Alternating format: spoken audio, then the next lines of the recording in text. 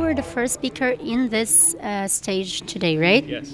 Uh, could you tell a little bit about what you said and what are the important things that you'd like people to understand and, and really reflect on about what the message you passed? Yeah. So. Um, I've been going really around the world, I think, uh, you know, here for the last year or two, talking about how important innovation in retail is. And I think it's no secret, right, that retail is going through a huge transformation, and retailers all around the world are looking for, you know, new ways to connect with their customers. And so I try to deliver, uh, you know, the message of, you know, how we're doing it at Neiman Marcus and, and hopefully inspiring others. And uh, at the same time, learning from folks from all over, right, on what they're doing and, and taking that back home with me.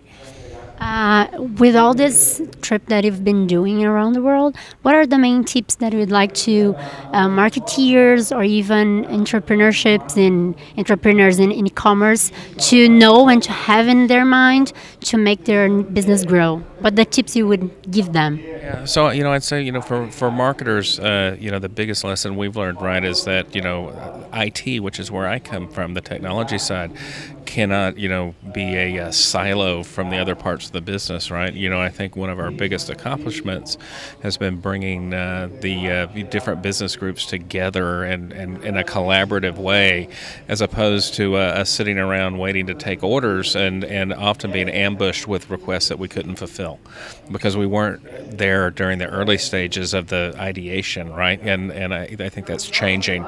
Um, which leads to a better experience, more projects, uh, uh, and just a, a, more agile organization overall for you know the young companies and solution providers out in the world that are you know coming to companies like mine to pitch their ideas.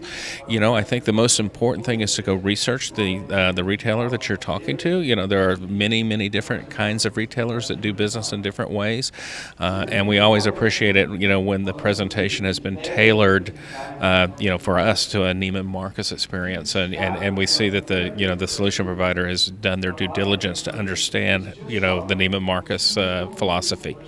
And just the last one, just because you said IT and marketing, uh, we here in Brazil have been living exactly this conflict. And I don't know if the conflict is the right word, but this experience of aligning more these departments that before they were two apart. Do you think marketing will exist without technology or? no, they will always, from now on, they will be together and they need to understand how to work together. I think definitely from now on they will be together, uh, that the, the technologists and the marketers have to be in alignment uh, and that we have to lean on each other's expertise, right, to go deliver, you know, that, that next generation uh, experience the customer's looking for. Thank you. Thank you.